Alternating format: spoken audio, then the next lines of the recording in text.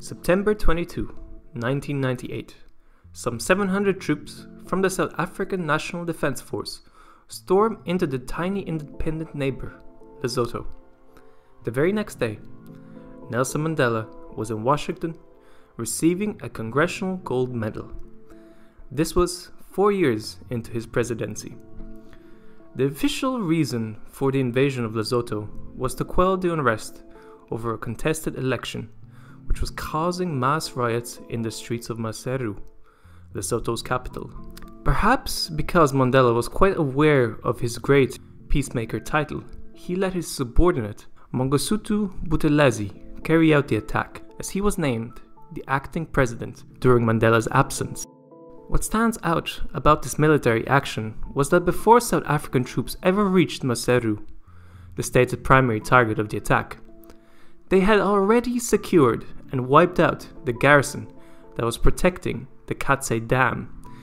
There, 16 Lesotho soldiers were killed as the South African military rushed in with attack helicopters and their special forces. Once control was established and the dam firmly under control, they could proceed to Maseru.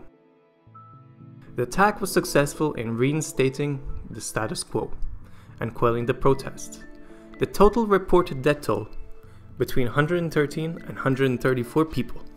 At the time, the perception of the attack by the local population was that South African troops were there to make sure to reinstate the puppet government of Lesotho, which had won the recent election under dubious conditions.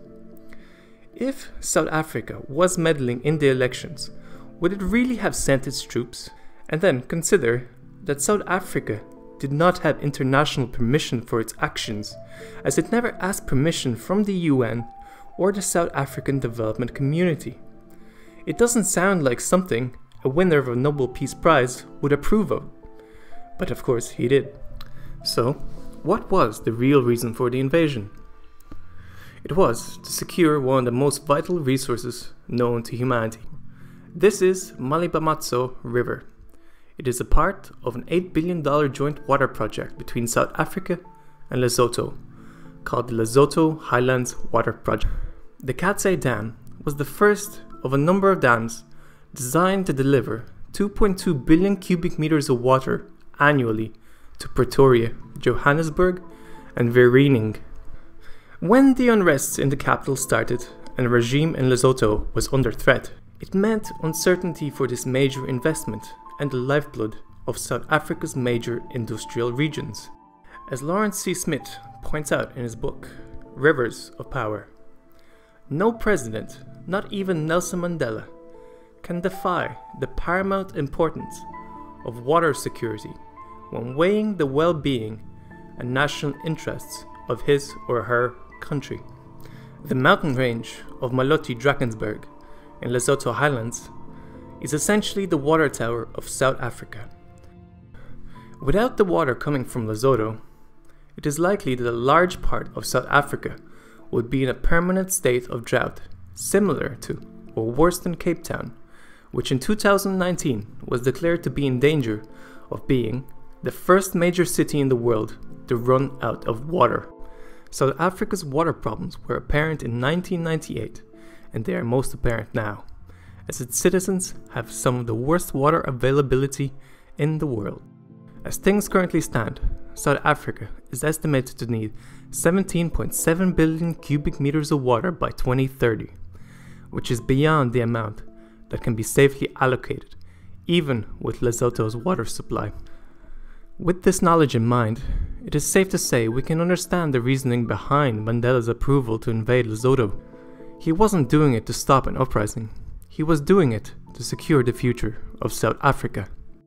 Lesotho is a critical location in the sense that it controls the water supply of many people.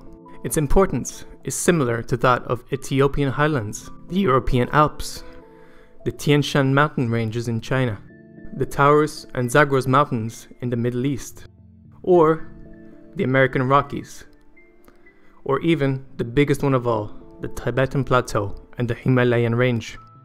Laurence Smith further writes This arresting asymmetry between where river water is produced and where it is consumed has enormous power implications for political states.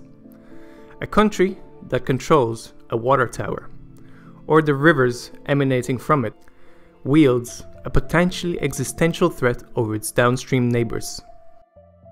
Hey, thanks for watching. So, yeah, just in case anybody missed the point, I'm not saying anything bad about Nelson Mandela's presidency or what he did.